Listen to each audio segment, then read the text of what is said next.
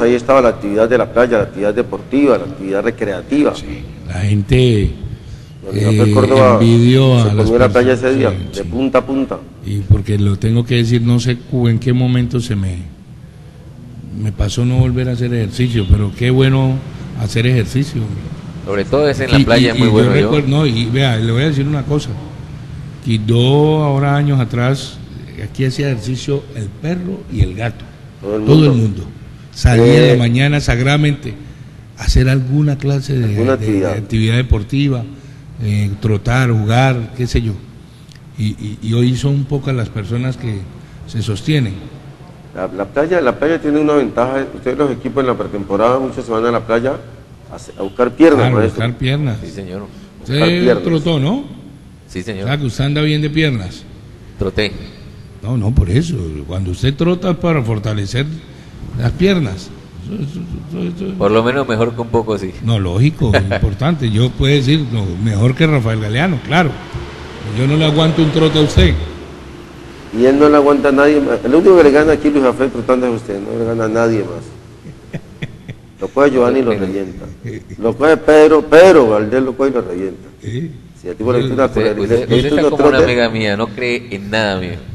Sí creo que le gane a Rafa. Demerita todo lo que, lo que salga de. Sí creo que le gane a Rafa. Sí Ah, creo que le gane a Rafa, sí creo. Lejos, Eh, ¿ah? lejos. Le puedo dar media. En, en 100, en 100 metros, ¿cuánto le puede dar?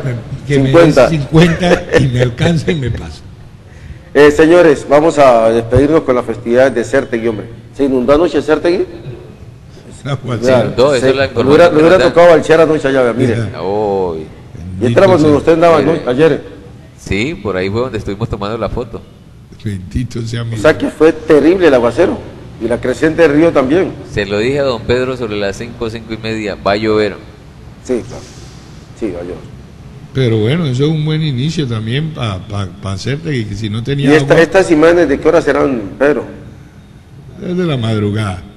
Se pinta de madrugada que los aguaceros O sea que el parquecito El bonito parque. se inundó totalmente. también.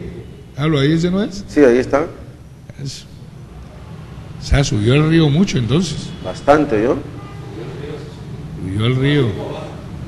Baja rápido, ¿no? Bueno, Certegui los espera este fin de semana, está de festividades, pese a esta inundación, no afecta para nada las festividades. Sí. Y hay un Sí, es que- pavagador también. ¿Ah? Pavagador. A Vagador le digamos a usted, señor. Hágale Vagador. Vagador. Eh, hombre, nos vamos a despedir, pero nos dejamos con las festividades de Certegui. A todos muchas gracias, muy amables, por dispensarnos atención en esta hora, 34 minutos de informaciones en RTV Noticias. 1 y 5.30 de la tarde en repetición en Cableselva de Bahía Solano, 1 y 5 de la tarde en TV San Juan de Ismina. Ya inmediatamente se repite esta emisión. La pueden volver a ver a la 1 de la tarde y tranquilamente en la placidad del hogar a las 8 de la noche. El lunes, en punto de las 7, Dios mediante, más informaciones. Buen fin de semana.